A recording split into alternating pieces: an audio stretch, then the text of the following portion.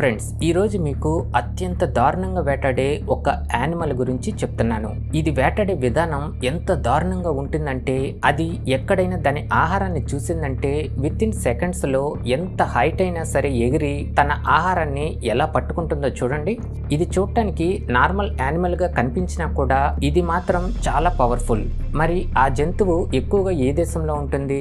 అలానే ఇలాంటి ప్రమాదకరమైన యానిమల్ని పెట్లాగా కూడా ఎందుకు పెంచుకుంటున్నారు? ఇంకా అది వాటి శత్రువులపై ఎలా దాడి చేస్తుందో ఇవన్నీ ఈ వీడియోలో పూర్తిగా చూద్దాం.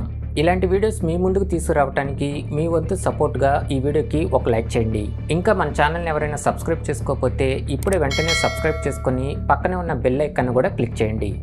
దీని పేరు వచ్చి కరాకాల్. నిజానికి ఇది చూడటానికి మనకి చాలా క్యూట్గా కనిపిస్తుంది. కానీ ఇది వైల్డ్ ఫారెస్ట్లో బ్రతికేటప్పుడు మాత్రం మనకి చాలా భయంకరంగా కనిపిస్తుంది. అంతేకాకుండా ఇది ఎక్కడైనా అది తినే ఆహారాన్ని చూసిందంటే షూర్ షాట్గా టార్గెట్ను పెట్టి ఆ జంతువుని చంపగల ఎక్స్ట్రాడినరీ యానిమల్ ఇది. అలానే ఇది క్యాట్ ఫ్యామిలీకి చెందిన జంతువు అయినప్పటికీ వీటి జెనెటిక్స్లో కొన్ని స్పెషల్ ఫీచర్స్ ఉండటం వల్ల దీన్ని సెపరేట్ యానిమల్గా గుర్తించడం అనేది చేశారు. ఇంకా ఈ జంతువుని స్టెప్పీ లినిక్స్ అనే పేరుతో కూడా పిలుస్తూ ఉంటారు. ఈ జంతువుకి ఇలా మోస్ట్ డేంజరస్ అంటర్గా పేరు రావడానికి గల కారణం ఏంటంటే దానికున్న ఫ్లెక్సిబుల్ బాడీ వల్లనే. ఇది ఎనభై రెండు సెంటీమీటర్ల పొడవుని అలానే ఇరవై కేజీల బరువును కూడా కలిగి ఉంటుంది. ఇంకా ఇది బ్రౌన్ కలర్లో కనబడుతూ దాని చెవులు మాత్రం బ్లాక్ కలర్లో ఉంటాయి. విచిత్రం ఏంటంటే ఈ యానిమల్కి ఇలా కరకాల్ అని పేరు రావడానికి గల కారణం కూడా వాటి నల్లటి చెవులే. అది ఎలా అంటే దీని పేరుని టర్కీస్ భాషలోకి ట్రాన్స్లేట్ చేస్తే బ్లాక్ ఇయర్ అని పేరు వస్తుంది. సో అందుకే దీనికి ఈ విధంగా కరాకల్ అనే నేమ్ వచ్చింది. పాత రోజుల్లో మన ఇండియాలో ఈ యానిమల్స్ని హంటింగ్ కోసం కూడా ఉపయోగించారు. అలానే ఇంకా వీటిలో తొమ్మిది సబ్ స్పీసెస్ కూడా ఉన్నాయి. బాధ కలిగించే విషయం ఏంటంటే వీటిలో కొన్ని జాతులు అంతరించిపోతున్నాయి కూడా. ఈ యానిమల్స్ ఎక్కువగా మనకి ఆఫ్రికాలో సెంట్రల్ ఏషియాలో పాకిస్తాన్లో నార్త్ వెస్ట్రన్ ఇండియాలో కూడా మనకి కనిపిస్తుంటాయి. విచిత్రం ఏంటంటే ఈ యానిమల్స్ ఇన్ని దేశాల్లో ఉన్నా కూడా మొత్తం మీద ఇవి వంద కన్నా ఎక్కువ లేవు. అలానే ఇవి వాటి స్థావరాన్ని ఈ శత్రువుల కంట పడకుండా పాడైపోయిన చెట్లలో ఇంకా ఈ రాళ్ళ సందుల్లో ఏర్పరచుకుంటూ ఉంటాయి. ఈ యానిమల్లో ఉన్న సూపర్ పవర్ ఏంటంటే ఇది వాటి ఆహారాన్ని పదిహేను అడుగుల ఎత్తు వరకు ఎగిరి మరీ అందుకోగలదు. అంతేకాకుండా దీనికున్న ఇంకో సూపర్ పవర్ ఏంటంటే దీనికి వినికిడి శక్తి కూడా చాలా పవర్ఫుల్గా ఉంటుంది. ఇంకా దీనికి వాటి చెవిలో నలభై మజిల్స్ని కంట్రోల్ చేస్తూ ఆ వచ్చే సౌండ్స్ని చాలా స్పష్టంగా వినపడేలా చేస్తాయి. ఈ జంతువులు వాటి ఆహారాన్ని వేటాడేటప్పుడు చాలా సైలెంట్గా వేటాడతాయి. ఎందుకంటే ఇవి ఎక్కువ దూరం పరిగెత్తి ఆహారాన్ని సంపాదించుకోలేవు కాబట్టి. అందుకే వాటి దగ్గరలో ఉన్న ఆహారాన్ని చాలా జాగ్రత్తగా మిస్ అవ్వకుండా ఈ విధంగా పట్టేసుకుంటాయి. ఈ జంతువులు ప్రతిరోజు వేటాడే ఫుడ్ వచ్చేసి ర్యాబిట్స్ని ర్యాట్స్ని బర్డ్స్ని స్నేక్స్ని లిజార్డ్స్ని ముంగీసుల్ని అండ్ ఒక్కోసారి ఇన్సెక్ట్స్ని ని కూడా ఇవి తింటూ ఉంటాయి.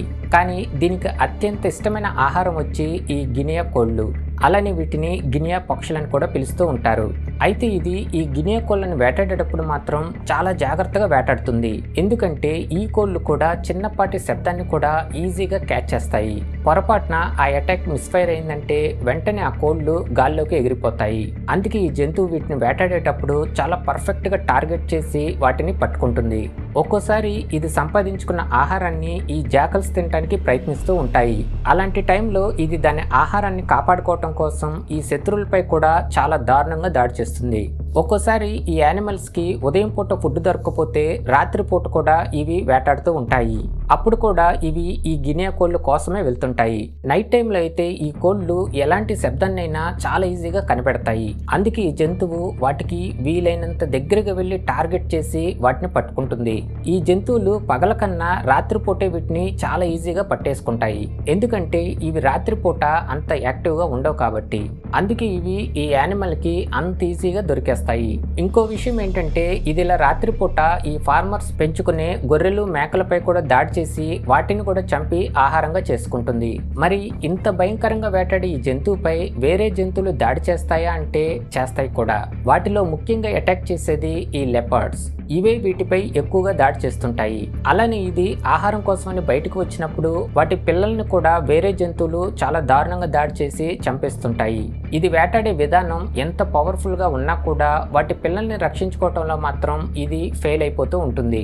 విచిత్రం ఏంటంటే ఈ లెపార్డ్స్ అనేవి గంటకి యాభై ఎనిమిది కిలోమీటర్ల స్పీడ్తో పరిగెత్తగలుగుతాయి. అలానే ఈ కరకాల్ యానిమల్ వచ్చి గంటకి ఎనభై కిలోమీటర్ల స్పీడ్తో పరిగెత్తగలుగుతుంది. అయినా సరే ఈ కరకాల్స్ని చాలా తెలివిగా ఈ లెపార్డ్స్ చాలా దారుణంగా వేటాడి చంపుతుంటాయి. వీటికి దొరకకుండా బ్రతికితే ఇక ఇవి ఈ అడవిలో స్వేచ్ఛగా బ్రతికినట్లే. ఇది ఇంత భయంకరంగా వాటి పళ్ళతో వైల్డ్ యానిమల్గా ఉన్నప్పటికీ దీన్ని చాలామంది ఒక పెట్ యానిమల్గా కూడా పెంచుకోవటానికి బాగా ఇష్టపడుతున్నారు. ఇది ఒకే కాన్పులో మూడు పిల్లల వరకు కనగలుగుతుంది. అలానే ఇది కేవలం పన్నెండు సంవత్సరాలు మాత్రమే బ్రతకగలుగుతుంది. ఇంకా వీటిని కొనాలన్నా కూడా వాటి రేటు చాలా ఎక్కువగానే ఉంటుంది. ఆర్డినరీ కరకాలను కాకుండా ఇంకొక జాతి కరకాలను కొంటే కనుక దాన్ని మెయింటెనెన్స్ చేయటం కూడా చాలా హైగానే ఉంటుంది. డొమెస్టిక్ కరకల్స్ అనేవి ఈ సాఫ్ట్ నేచర్కి చాలా ఈజీగా కలిసిపోతుంటాయి. అంతేకాకుండా ఇవి వైల్డ్ యానిమల్స్ కాబట్టి వీటిని చాలా కేర్ఫుల్గా పెంచాలి. లేకపోతే అవి వాళ్ళ యజమానులపై కూడా ఎదురుదాడి చేసేస్తాయి. ఒక్క మాటలో ఈ కరకల్ యానిమల్ గురించి చెప్పాలంటే దాని వేగం సామర్థ్యం అనువైన శరీరం ఇంకా దాని బలమైన పంజా. వీటి వల్లనే అది వాటి ఆహారాన్ని ఇంత ఈజీగా సాధించేసుకుంటుంది. ఓకే ఫ్రెండ్స్ ఈ వీడియో నచ్చితే ఖచ్చితంగా ఒక లైక్ చేయండి. ఇంకా మన ఛానల్ని ఎవరైనా సబ్స్క్రైబ్ చేసుకోకపోతే ఇప్పుడే వెంటనే సబ్స్క్రైబ్ చేసుకొని పక్కనే ఉన్న బెల్ ఐకాన్ కూడా క్లిక్ చేయండి. ఇంకో ఇంట్రెస్టింగ్ వీడియోతో నెక్స్ట్ వీడియోలో మళ్ళీ కలుద్దాం. Thanks for watching.